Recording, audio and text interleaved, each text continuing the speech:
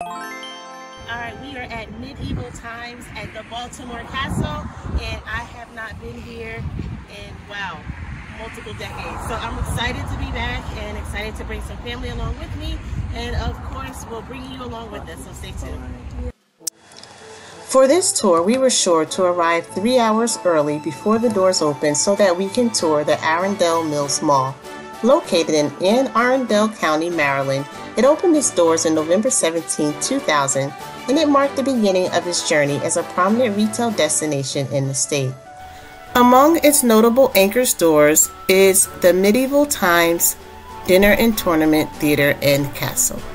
This dinner theater, founded in 1983, offers an immersive experience replicating an 11th century style castle complete with knights, horses, and a royal court. It is an engaging blend of historical recreation and entertainment, showcasing jousting, sword fighting, and medieval style games. Right beside the castle was an art studio, which was a great way to spend some time while we waited for the castle doors to open. We looked at art and talked to the artists in the studio about what can be done with custom made art on prints, on canvas, and things of that nature. As we walked around the mall, we enjoyed window shopping at notable stores such as the Lego store.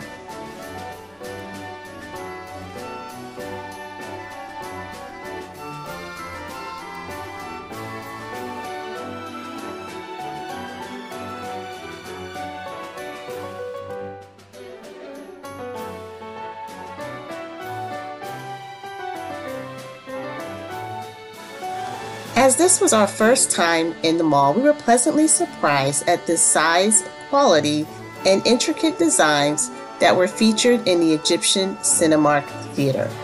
Also located inside the mall, this theater is a magnificent display of Egyptian art and other details of Egyptian life.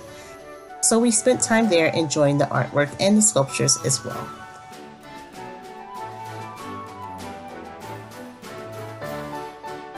Today, Arundel Mills Mall is the largest mall in the state of Maryland. All right, so we are in Arundel Mills Mall, which is the home of the Baltimore Castle medieval times. But I just wanted to point out some of the neat features in the mall. So if you are coming, um, I would recommend come like an hour or two earlier than the door opening time so you can just get a feel for the mall because it's actually a really nice mall.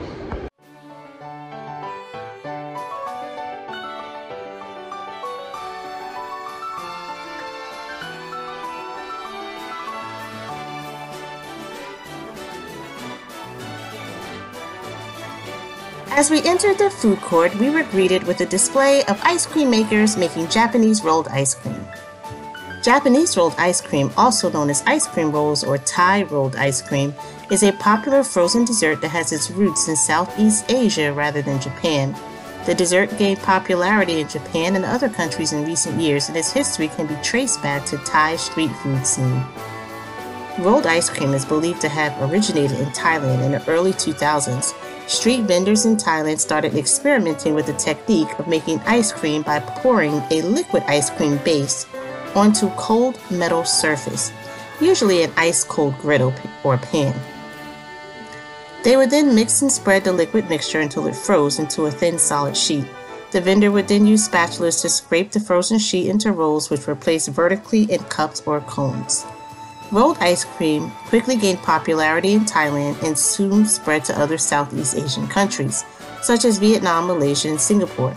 The dessert's visually appealing presentation and the ability to customize flavors and toppings made it a hit among locals and tourists alike. While rolled ice cream originated in Thailand, it found its way to Japan in the mid 2010s. Japanese entrepreneurs and dessert shops adopted the concept, often adding their own unique twists and flavor combinations to cater to the local palate. The popularity of Japanese style rolled ice cream continued to grow and eventually spread to other parts of the world, including North America, Europe, and beyond.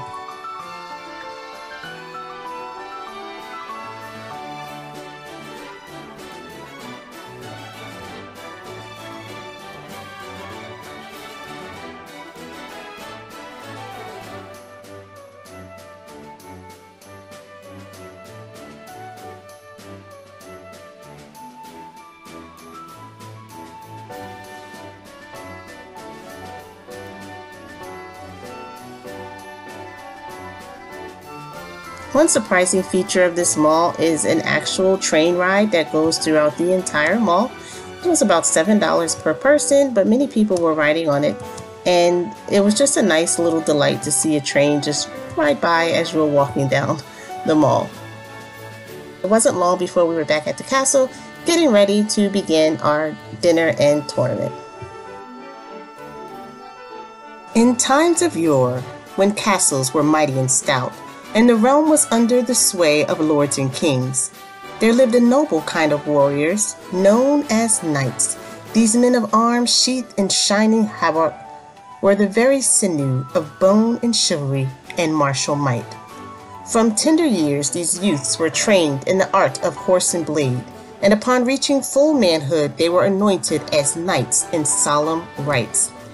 Bounded by the code of chivalry, these knights upheld courage, honor, and the defense of the powerless. They were sworn to defend their liege's keep, to uphold uprightness, and to battle with honor. In the art of sword play, these knights found their greatest skill, not only for the brutal fray of war, but for the glory of the tourney. In these grand jousts and melees, neath the shadow of the high castles, knights clash in valorous combat. These castles, with their high battlements and broads, moats, served as more than mere abodes of lords. They were strongholds of war. Within these stone walls, knights lived and prepared for the clash of arms.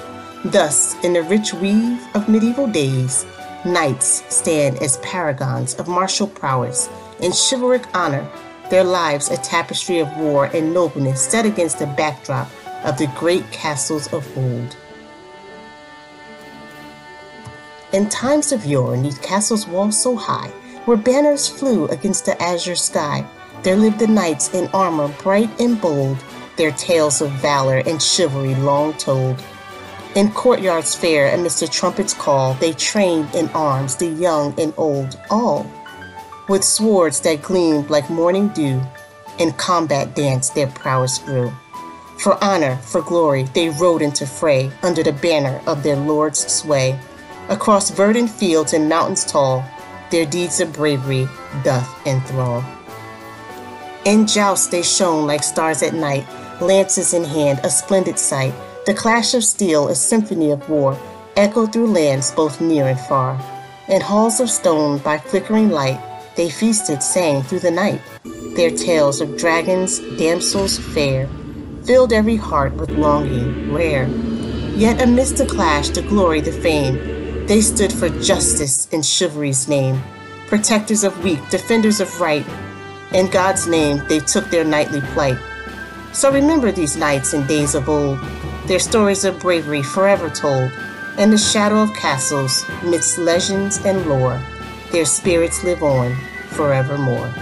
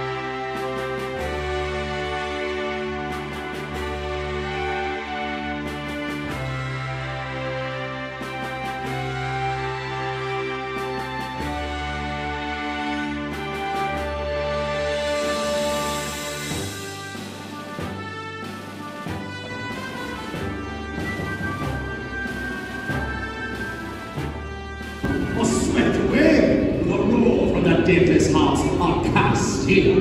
Great is the grief, the alive, the